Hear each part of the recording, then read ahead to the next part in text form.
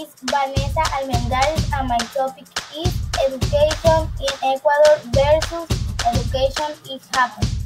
Education in Ecuador is very good because education, the government helps them with school supplies, uniforms, desks, and for school and college in the Ecuador. Public and private education by the Ministry of Education. Has to remain constant and remain zero. In the constant, remain in the classes begin in April and then in January or February of the following year. In the zero remain Amazonia classes begin in September each year.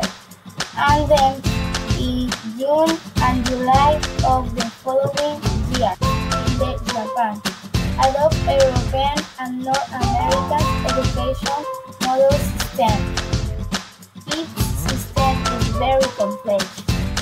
The academic training is six years of education elementary, three years of lower secondary education, and three years of higher education. Thank you.